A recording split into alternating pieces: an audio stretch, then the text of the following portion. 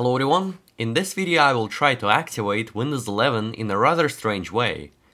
Before Windows 11's beta leak, I presumed that Microsoft's newest release would follow a free-for-all marketing strategy. But I was wrong, even though there were grounds to that assumption. All in all, the release was overhyped and the activation mechanism remained intact. And there's not much talk about the activation mechanism itself.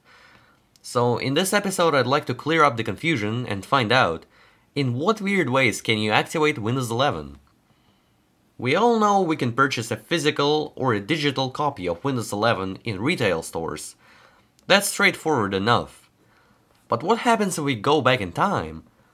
Sure enough, you can also activate Windows 11 with a Windows 10 key, since Windows 11 is just a feature update to the latter, and everybody would just go nuts to spend another few hundred bucks to buy a Windows 11 DLC. And, and there are a couple YouTube videos showing off Windows 11 activation using a valid Windows 10 key. So that's also confirmed possible. Now Windows 8 and 8.1, can you use their keys? The answer is likely yes, since Windows 10 is a successor of these guys, and you could activate Windows 10 using these keys. Uh, but I have no way to check that since I failed to purchase a copy of Windows 8 before sanctions, unfortunately, However, I have an even crazier idea. What if we use a Windows 7 key to activate Windows 11? I do have a physical copy of Windows 7, we'll definitely try that out, but first, let's go even deeper. What about Windows XP, the fan favorite all-time classic? Or Windows 98, one of the first systems to adopt the 25-digit product key that's also used in Windows 11? I think it's just right to start with Windows 98. I highly doubt it'll work because the algorithms likely changed over time, and the product keys for it are widely available now that it's abandonware, but you never know. So first of all, let's go ahead and install Windows 11. We need something to activate. I'm gonna quickly revert the snapshot and skip the install port because that's besides the point.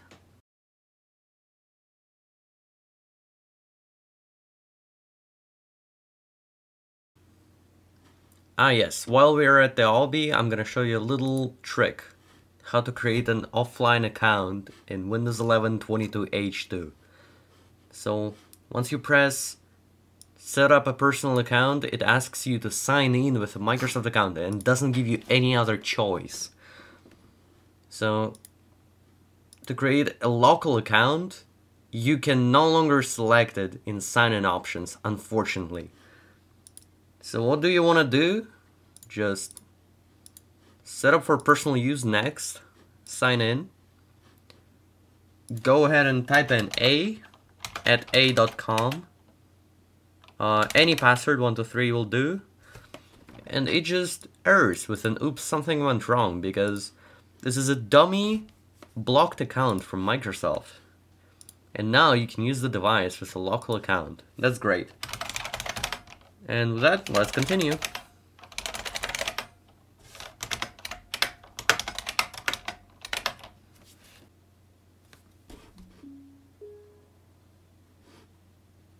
Beautiful, we are done. Here's the clean Windows 11 install, and as usual, I'm assuming, yes, we need to activate Windows before we can personalize our computer and uh, activate now. Windows has reported that no product key was found on your device.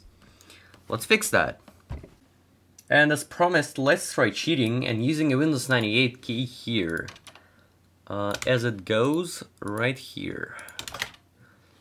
Click next. Okay, the product key did not work. Let's try another one. From WinWorld PC. Okay, Neither of these worked, um, and I expected that. The system is way too old and abandoned, so it's just it's really just cheating. So they really thought it through. Now let's try Windows XP. I've been actually looking forward to that moment, not going to lie. Um, since I'm using a real copy of Windows XP here, uh, and I'm keeping that key to myself, I paid for like 300 bucks. I'll blur it here don't mind me. Imagining it does work though, it would be really funny considering its age, but it would also be logical. So I'm taking out the folder. Here's the product key on the back. Let's type it in.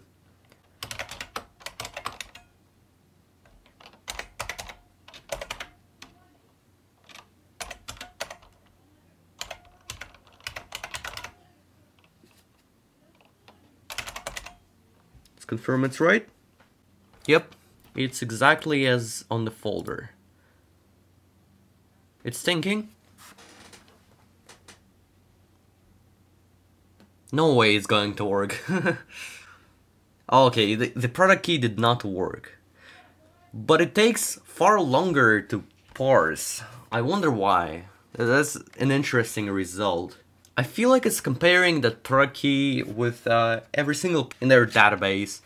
And uh, even though it's finding the product key that I've pasted here from Windows XP, it just denies me because it's way too old. I feel like that's, that's why it's taking that long. Interesting. Now, let's try Windows 7. Now, let's go ahead and unbox Windows 7. Um, as promised, here is the physical copy. I purchased two of them for $50 each from eBay back in the day and I'm going to sacrifice one of them for this video.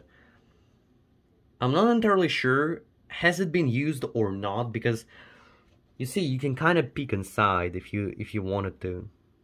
You can just you can just pressure the sides of the box or well not a box cardboard list and and see inside.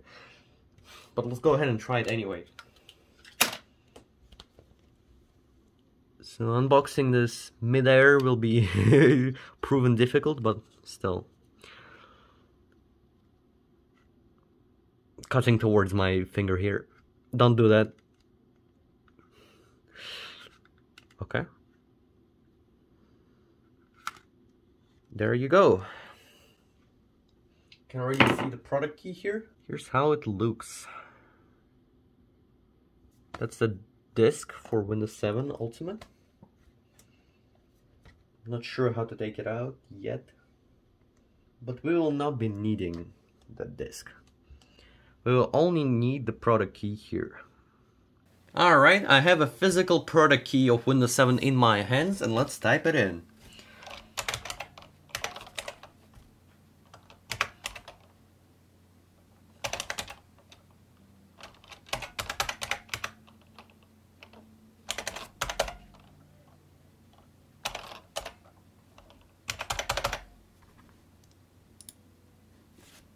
Go ahead and click next, uh, loading. Okay, so activate Windows. By activating Windows, you get the best experience free from interruptions. Now, I'm not sure if that key is gonna get used up or I might use it in the future for Windows 7 setups, but I'm going to sacrifice one of the cardboard pieces I've got here, as I promised, so let's go ahead and click activate and see if we have successfully activated Windows 11 Pro by using a Windows 7 Ultimate product key. Windows is activated. We've activated this copy of Windows. And there you have it. We have just successfully activated Windows 11 with a product key of a 13 year old system called Windows 7. Do I think this is great? Absolutely. This is just awesome. This is just a blast from the past, in my opinion.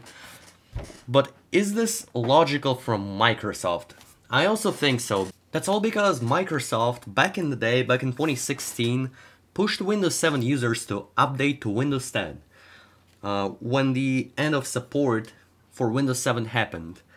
Uh, the extended support still remained until 2020, January 14, 2020, but I believe what they did to Windows 7 users, they upgraded them for free using the activation keys that were already present from Windows 7.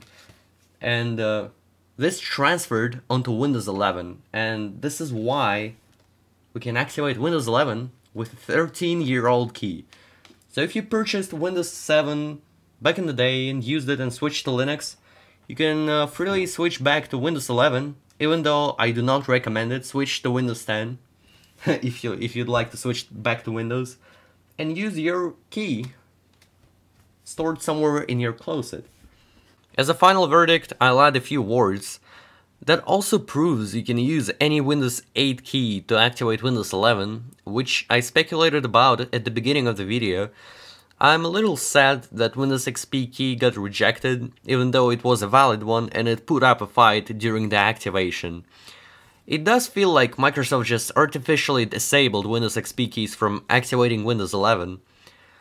Uh, but despite all that, I believe this experiment proved one more time that Windows 7 still lives on, and in the ways you haven't thought existed. All in all, thanks for watching, rate the video, let me know what you think about it, and most importantly, take care.